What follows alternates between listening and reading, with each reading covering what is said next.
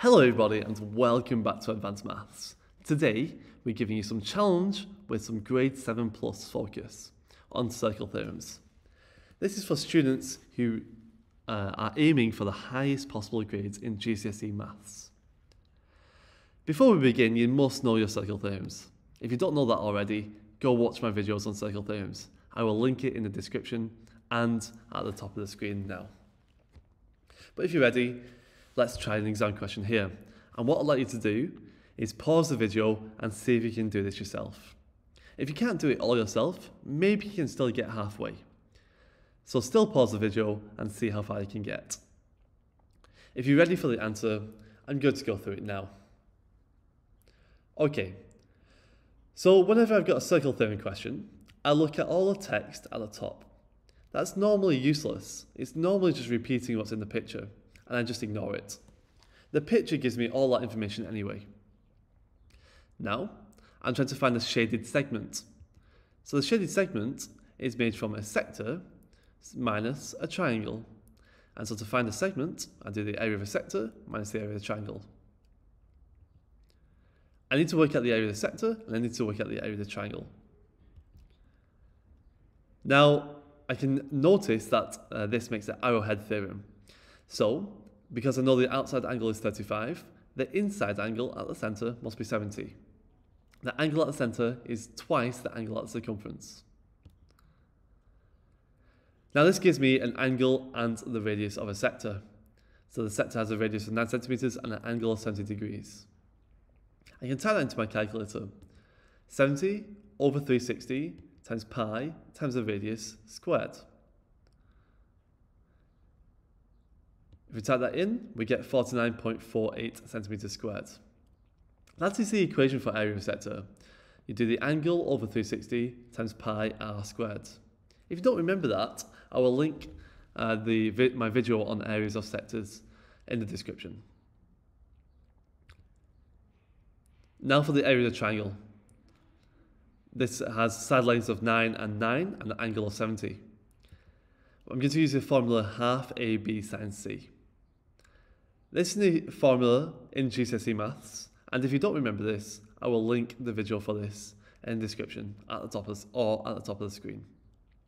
We put those numbers in, so A and B are 90 and 9 centimeters, and the angle is 70 degrees. Again, I type that into my calculator, and I get 38.057 centimeters squared. Okay. Finally, I can just subtract those two areas and I get 11.423 centimeters squared. But I want to round it to three singular figures, so I get 11.43 centimeters squared. Did you get that one correct? Let me know how far you did in the comments. Now, we've got a second question for you to try. This one's about angles. So pause the video again and see if you can get uh, the answers correct here.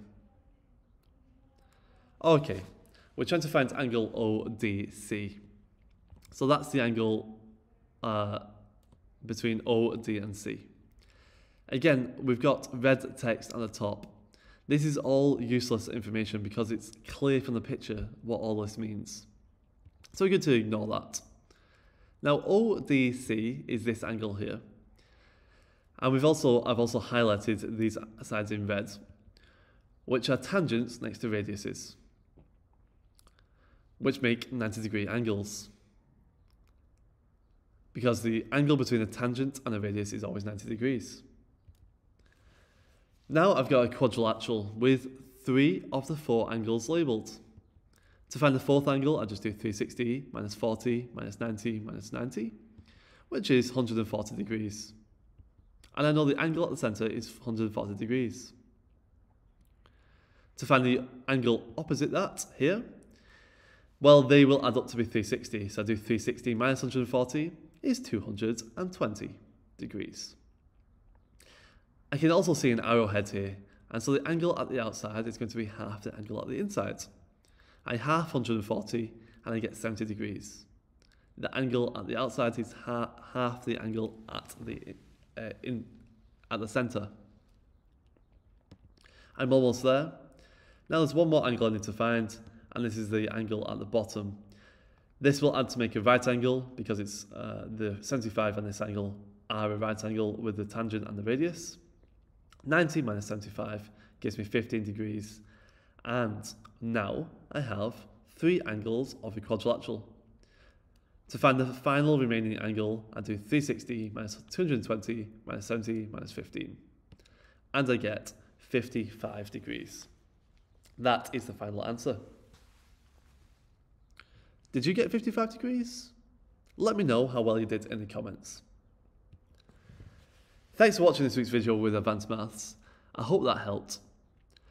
If you want to see more videos in future, remember to like and subscribe so you don't miss any future videos. Thanks for watching and good luck in your exams.